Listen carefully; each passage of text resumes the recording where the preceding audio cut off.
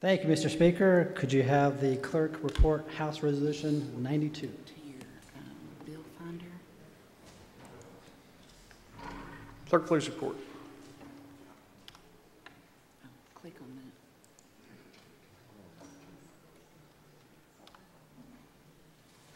that. House Resolution 92, Representative Fleming, a resolution declaring the week of February 21st to the 27th, 2022 as Eating Disorders Awareness Week in Kentucky.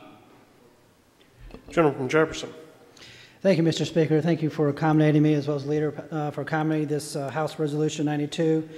As the clerk said, Eating Disorders Week, uh, Eating Disorders Awareness Week is this week, and the theme is "See the change, be the change," and it focuses on recognizing the change within the evolving world of eating disorders, and it's and it's uh, prevalent throughout our society.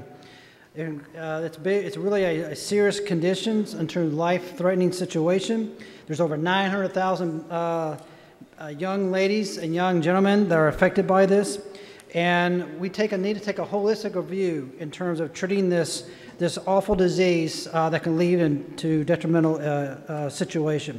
So, so with that, uh, please be mindful that Eating Disorders Awareness Week is this week.